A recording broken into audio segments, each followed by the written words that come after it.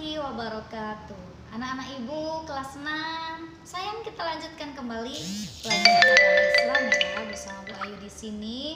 Hari ini kita sudah masuk di bab 4 ya. Silahkan buka buku paketnya di halaman 45. Pada hari ini kita akan belajar tentang beriman kepada kodo dan kodar. Apa itu kodo dan kodar? Kodo adalah ketetapan Allah yang sudah ditetapkan sejak zaman ajali. Nah, pengertian itu ada di halaman 47 ya sayang ya. Silakan baca dan pahami materinya. Di sini tertulis lebih lengkap. Kemudian apa sih itu kodar?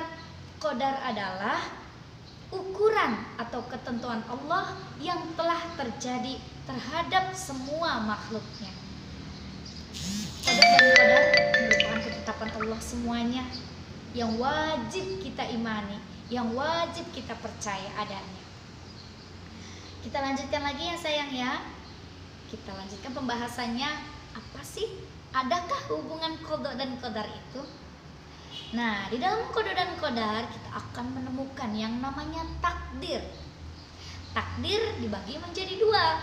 Ada takdir mubram, ada takdir mu'allak. Apa itu perbedaannya? Takdir mubram adalah ketentuan atau takdir yang tidak bisa dirubah.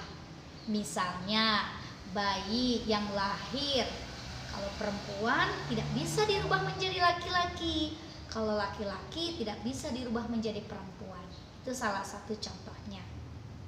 Nah, kalau takdir mu'allak yaitu ketentuan yang bisa dirubah dengan usaha manusia seperti cerdas, kepintaran seseorang bisa dirubah dengan cara kita berikhtiar, dengan cara kita berusaha, kita belajar agar menjadi pintar.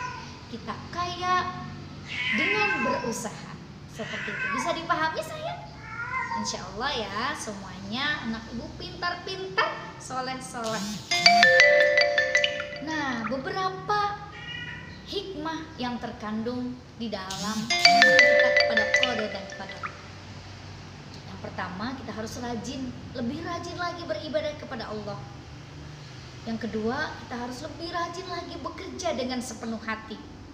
Kemudian, kita juga harus menerima ketetapan Allah dengan lapang dada. Kemudian, belajar dengan sungguh-sungguh agar menjadi pandai dan selalu meningkatkan potensi diri. Lanjutkan lagi ya sayang ya. Sungguh-sungguh berusaha dalam kehidupan. Kalau kita mau jadi anak yang pintar, maka kita harus rajin belajar. Kalau kita mau jadi orang yang sukses, maka kita harus giat bekerja. Itulah kuncinya. Siapa yang mau sukses, tidak boleh malas, ya. Siapa yang mau pintar, juga harus rajin belajar.